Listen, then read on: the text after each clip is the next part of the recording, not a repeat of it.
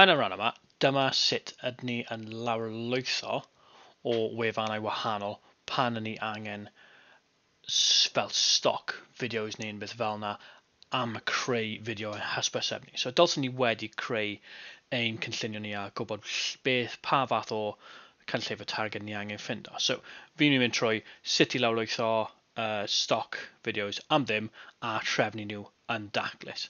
So, beth sydd angen i wneud yn gyntaf, ni'n mynd mewn un ffolder ni, fel ni wedi wneud fan hyn. So, chi'n gweld this PC documents uh, 1.3, Joan Tai neu beth bynnag. Chi'n cael aserau digidol, aml gyfrwng, a wedyn dylse cael rain. Os chi ddim yn cael rain, dylse chi ychwanegu nhw ty beth. Ond mewn i'r un fideo, fi wedi ychwanegu dau arall, sef asedau wedi lawrlwytho. So, roi chi'n mynd i lawrlwytho, a wedyn wedi trosi, converted. So, unwaith ni'n mynd i lawlyg nhw, ni'n mynd i angen cyfnewid nhw i fformat wahanol gan defnyddio media encoder, ond nawr ni dangos chi yna mewn fideo wahanol. Um, so, uh, ni'n cael log ymchwilio fideo, so dyma enghraifft. Like. So, dyma lle ni'n mynd i angen roi nodiadau am y fideos ni wedi lawrlwytho. So, ni angen disgrifiad, wefan ni wedi cael e o, so Uh, mae yna, ma llwyth o wefannau wahanol gallwch chi defnyddio i nôl uh, fideos am ddim.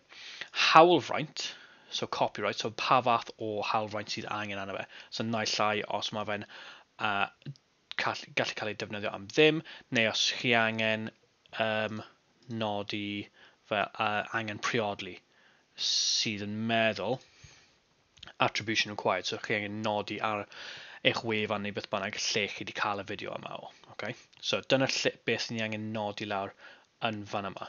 Y wefan, enw wefan, a wedyn y URL lle, lle chi wedi cael o. So, os ni'n mynd arno wefan gyntaf, fi wni defnyddio Fidivo. Fidivo.net, okay? So mae hwn yn un eitha dda. So gallwn ni dweud, um, er enghraifft, ni angen uh, creu fideo i hysbysebu siop coffi neu rhywbeth fel yna. So, So os ni'n edrych siop coffi. Nawr, os ni'n gwasgu ar y ffilter yma, ni'n gweld fan hyn, ni angen cael gwared limited premium clips. Oherwydd y rai premium chi angen talu amdano. So ni eisiau ffindo y rai sydd yn edrych yn dda i hysbysebu coffee shop. O, bydd o'n wneud? O, perffaith. So, ni'n gallu gwasgu free download. Yes, free download eto. Yn gofyn attribution required, so ni'n mynd i angen nodi hwnna lawr. A mae hwn yn lawrlwytho i ein downloads folder ni. So ni, be ni moyn wneud yw agor hwn, a fi'n mynd i symud hwn mewn i fan hyn. So os ni'n edrych nôl ar y wefan, beth oeddwn ni'n galw hwn, os ni'n copio hwn, a ni'n rhoi hwn yn fan hyn, disgrifiad, bach yn fawr. Uh, so, Videvo,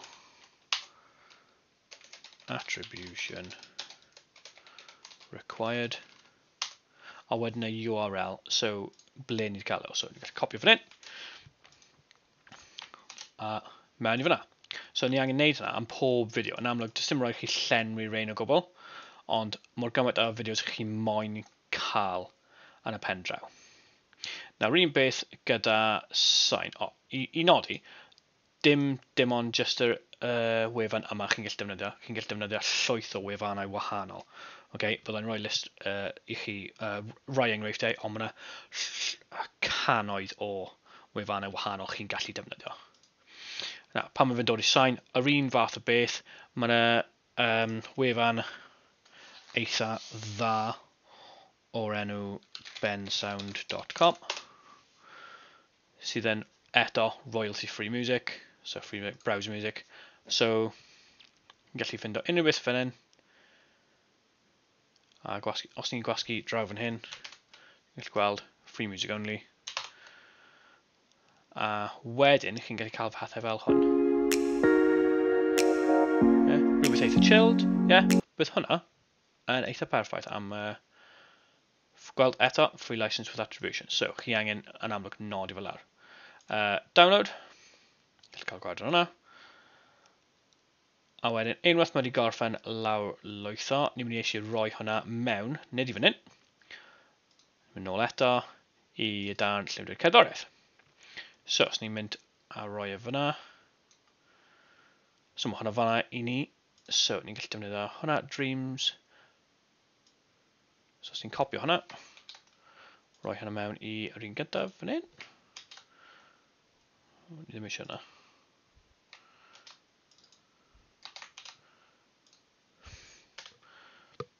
So band sound, how right.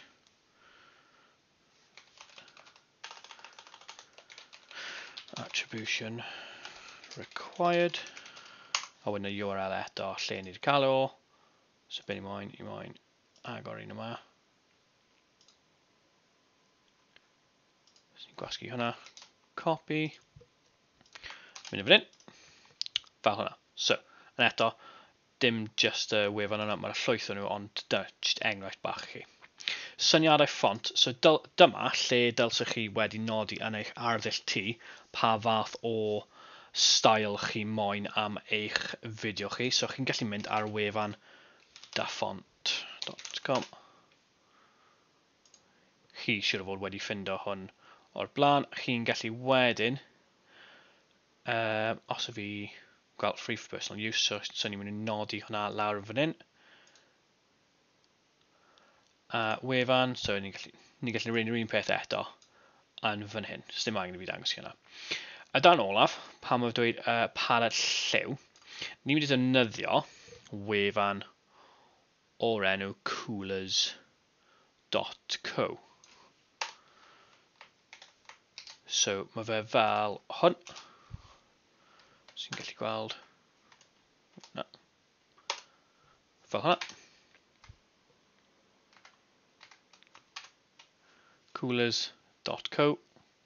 fel a wedyn Be ni'n mynd i mynd arno, ni'n mynd i explore trending palettes. Os ni'n gwasgu hwn, ni'n gallu gweld beth mae lot o bobl yn defnyddio ar hyn o bryd. So i, i fel matcho beth sydd yn cael ei defnyddio ar hyn o bryd. So os ydyn ni'n dewis yr un... Os ni'n dewis yr un yma. So, ni'n gallu dewis rhain, neu dewis y lliwiau wahanol, sydd yn rhaid nhw bod ar pob un, ond mae'r rhain, y rai sydd yn tueddu mynd gyda y lliwiau arall.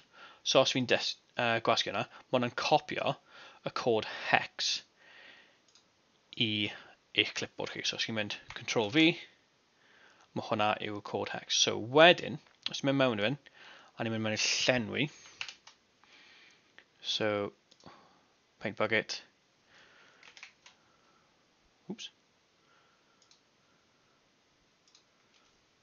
fan hyn, gwasgu personol, a wedyn ni'n gallu peisto fe mewn fyna, ni'n glido fe mewn fyna, a mae'n rhoi ni'r lliw. So iawn, a wedyn mae'n rhoi ni hex code ac y lliw sydd yn cyd-fynd gyda hwnna. So chi moyn defnyddio 4 neu 5 lliw wahanol chi'n mynd i defnyddio yn eich fideo chi. So dyna beth sydd angen i chi wneud. Chi angen nod lawr, lle chi'n cael y fideos, lle chi'n cael y sŵn, lle chi'n cael ffontiau gyda y hawlfraint sy'n mynd gyda nhw, a wedyn eich paned lliw. A dyna beth sydd angen ei llenwi fan hyn cyn i ni mynd ati i creu ein fideo.